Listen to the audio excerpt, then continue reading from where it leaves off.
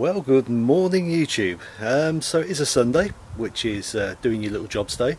Um, today, going to do some work on the, the Audi behind me, the wife's car. So we went to the coast yesterday, had uh, a late afternoon drive to get some chips, as you do. and uh, um, sort of when the traffic had died down a little bit. Um, but coming back, there was a little bit of traffic around the Kingsland area. Always happens, always gets busy there.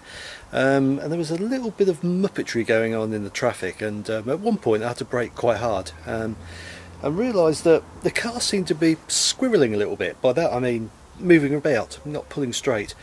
Um, so brakes work okay, um, but it's obviously under heavy braking. Something's not quite right. so it, uh, I took it down the back road, tested the brakes and, and it stops and all the anti-lock brakes and everything works okay. Um, but did a little bit of measuring um, let me just show you what I mean. Um, I have a tool. It is this and it basically switch it on and you can use it for COVID of course. It basically just tells you what temperature you've got in the well whatever you're pointing at in this case the discs. As you can see there 32 um, but I measured them all yesterday and all the rest are about 140 and this one was over 200 so it says to me there's a bit of binding going on. So I'm just going to take the back wheels off both of them uh, make sure that you know the brakes are nice and free uh, free them up if needs be. And um, then probably just bleed the brakes just make sure that they're spot on before the winter. To be fair the car doesn't get used as much as it probably should. Um, so obviously rust sets in the more it sits. Uh, I did change the brakes all round about two years ago but like I say with it sitting around there's probably just a bit of rust needs uh, cleaning up, sorting out and greasing so let's get on with it.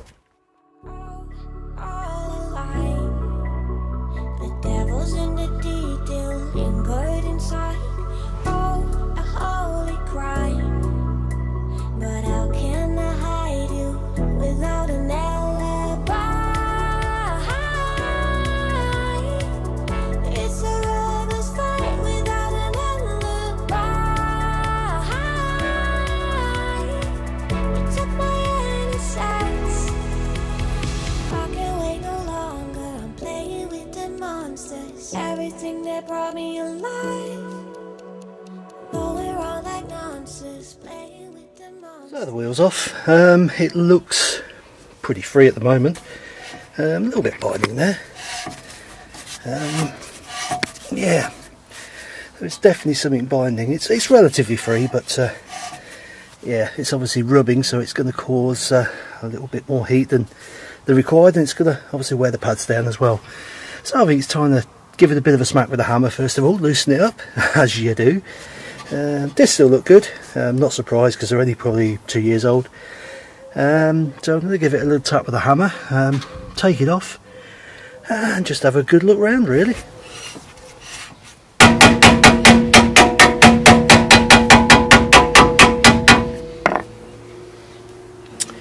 On first inspection I think it's the typical Audi problem which seems most Audis suffer with and that's around the back here. Um, inside there if you can see it hopefully you can there's a lever and when you pull the handbrake on that lever pulls forward like that.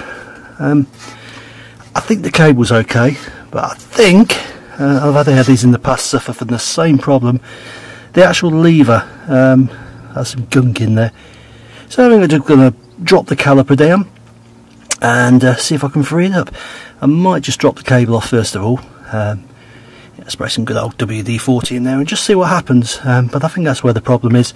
Um, the disc seems bound when you pull that on, but if you give it a little bit of persuasion, um, it's going to take a little tap, I think. Like so. Cable seems quite tight as well. Um, there you go, freeze it up okay. So it's, it's definitely the handbrake binding, definitely. Um, uh, and again, same old Audi problem. It's strange, ironically, I had uh, an old Audi 80 years ago, exactly the same setup and exactly the same problem. You'd have thought by now Audi would have learned their lesson, but it seems not. Right, let's waffling, let's get this caliper, or get the cable off first of all, and give it a, a bit of manipulation.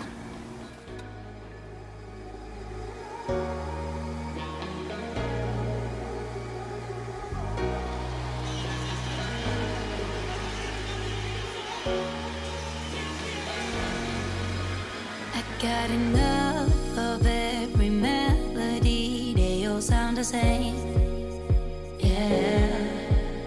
For my broken heart, no remedy, but maybe if you stay, we can get away with it. Cause you make me love my imperfections, answer all my questions, just to show me what's on the other side of inhibition. And there you go, one caliper off. Uh, obviously to undo these, you've got a 15 mil just there. And as you saw, I was taking the 13 mil out the other side. You've got to obviously hold this one because that whole assembly moves, has to because it's a floating disc, obviously.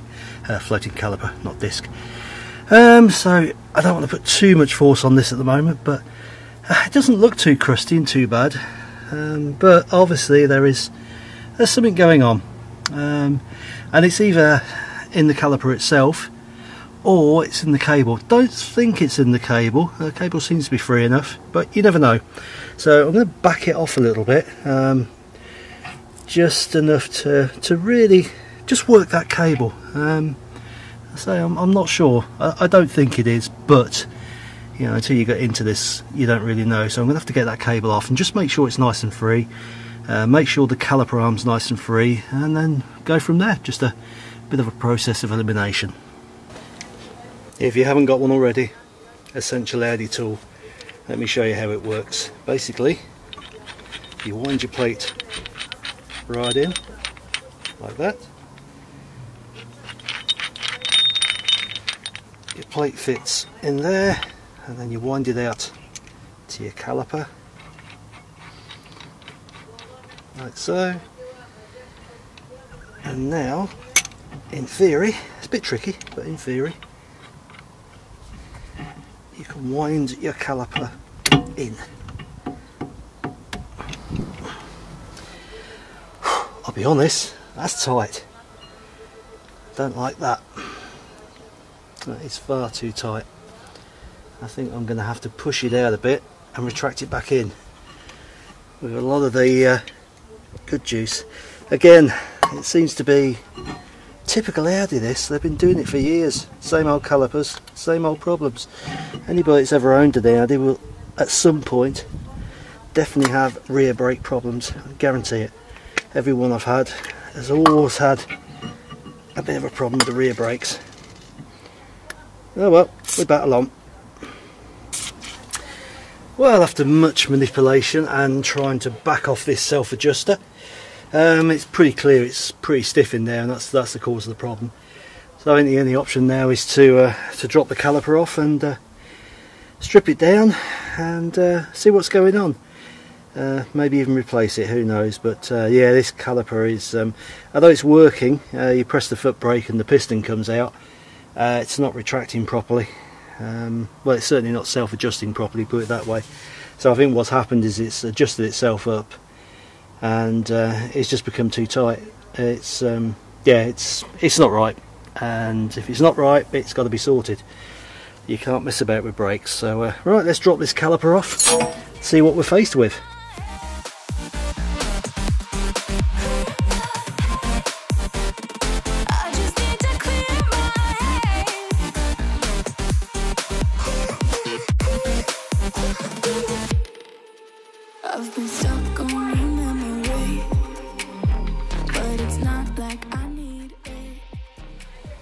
There you go. One good thing with Audis, at least they uh, are relatively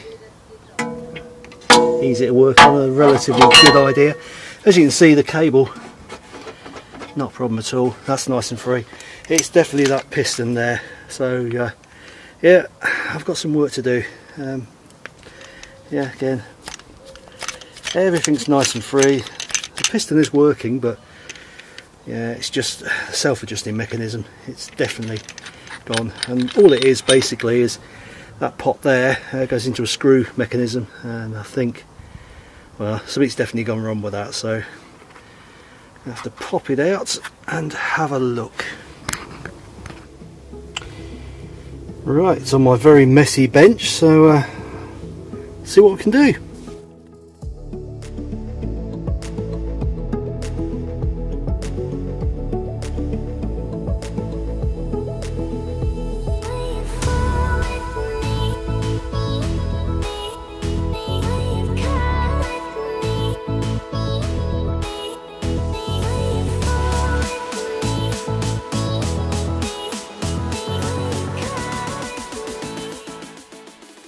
Be honest, this is looking more and more like it needs a new one. Um, that is, as you can see, I had the mole grips on there, but it's it's clean in there, but it it is solid. As I say, it's only a screw attachment in there, but yeah, it, it ain't moving. So I'm going to drop it all the way out, which is a bit of a problem because obviously this rubber you can easily damage by doing that, but uh, it's got to come out. Um, that's the only way around it now. Uh, and see if I can free it up when it's actually out the unit. Um, but so there's a fair chance I'm going to have to replace this one anyway. But ah, such is life.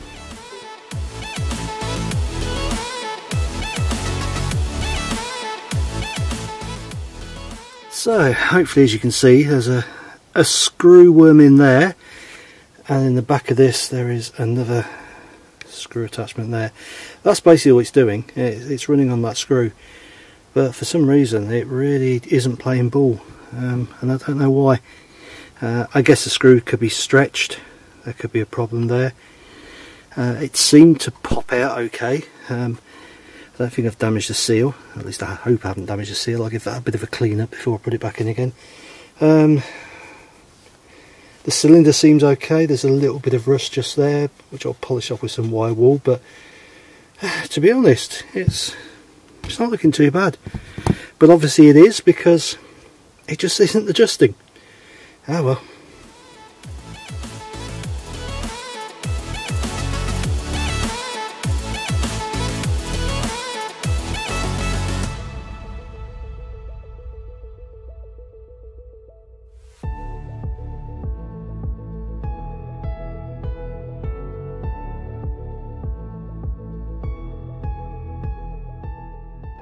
Well, I don't mind telling you, this is a right royal pain.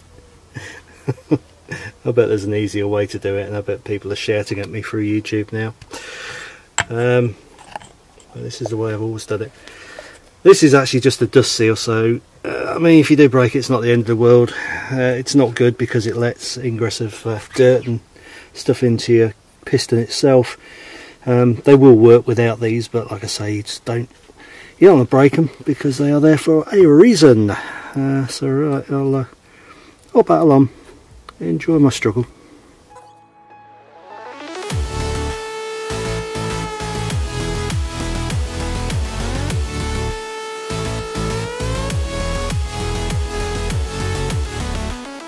Well, I bit the bullet and I pulled it out. uh, I've done this in the past before, but uh, getting them back in that bleeding groove again is not not easy sometimes it's easier to do it the way I've been trying to do it but um, that working so pointless trying right I'm going to clean up that ridge there um, where that sits in. As you can see it's been there a while. It's all frosty and and horrible. So I'm going to clean that up. And uh, I think first of all what I'm going to do before I start putting this seal back on again which is obviously going to be a pain in the backside I am going to try and get the screw part of it working because that's obviously the issue I've got. Um, that's the bit I need to sort out so it makes sense to be happy with the screw mechanism before I go bolting it all back together again I guess in my head of logic we shall see. Um, so obviously like I say there is a seal. Get a clean piece of cloth because I don't want to make don't want that to be all gunged up. And there is a bit of gunge in there. Let's let's get the WD in there. And make sure that seal is well lubricated the seal that actually holds the piston not the uh, the seal that's the dust cover. And uh, I think I'm going to get some air in there and give it a blowout as well just to try and get some of the crap out because inevitably there is a little bit of crap in there. Right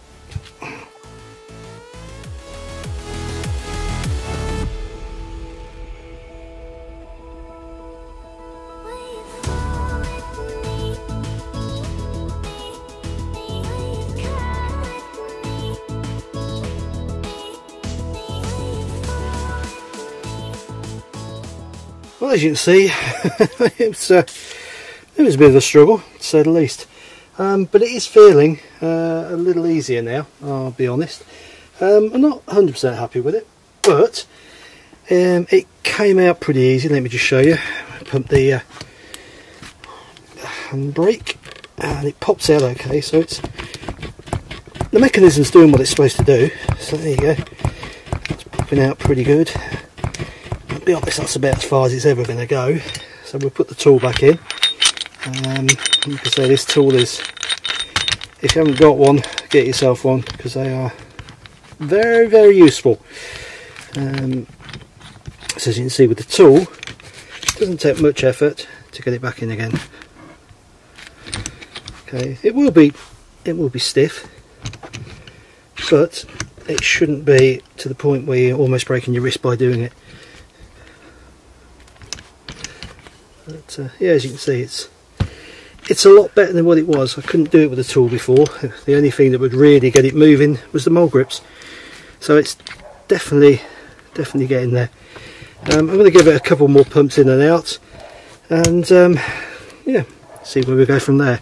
I don't think I'm going to need a new one, but again, if I'm not happy with it, I will buy a new one, and I may just put this on for now, just to get the car mobile again. Not that we need it, um, and then go from there. But uh, yeah, needs a clean up as well, and I'll do that before it goes back on. But it's definitely feeling better. Definitely feeling better. Well, I'll be honest. I'm getting to the point where I'm thinking, let's just buy a new one. Um, now I remember why you don't take that seal off, because the piston holds the seal in place. Hey, so you can't fit it after you've got the piston back in again. Um, so I've had to take the piston out. Now I'm having to put it back in again, um, which is a challenge, as you saw last time. Oh dear, maybe some research online is um, my next move. right, five minutes, have a break, think about it, calm down, and then we'll get back to it.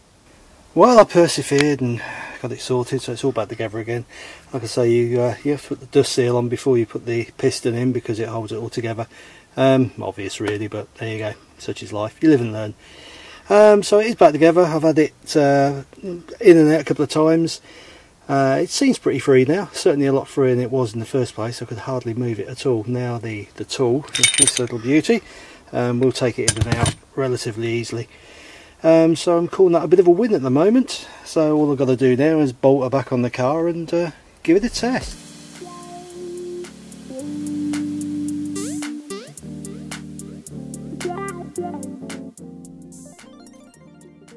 Right, well that's it back on again. Um, just release the pipe. So I'll crack the, the I'll crack the bleed nipple, get some fluid back into it, and see what happens. You can see at the moment everything's fine, but obviously as we work it, the self adjuster is going to start to tighten up, um, and I can work it with the uh, with the handbrake, but I'd rather do it with the foot brake to be honest. So I'm going to crack the bleed nipple open, and probably get my pressure device onto the system itself. Um, I'll show you that. It's basically it is a device that goes onto the reservoir and pressurizes the whole system uh, to about 20 psi. It does a very good job as well. Um, very good for bleeding brakes on your own. Right, um, I'm going to get a socket on that bleed nipple uh, and do it properly because I don't want to mess it up. And then we'll see where we are. Well, I was trying to avoid the expense of a caliper, seeing they're around 150 quid. Um, but then we had to take the bleed nipple out, and it's basically just pulled the threads out of the caliper itself. So there ain't no way that's going back in again, or holding fluid. So a new one it is. Sometimes, just sometimes, you feel like you're wasting your day. Well, nobody likes to admit failure, but in this particular case, um, I'm going to have to.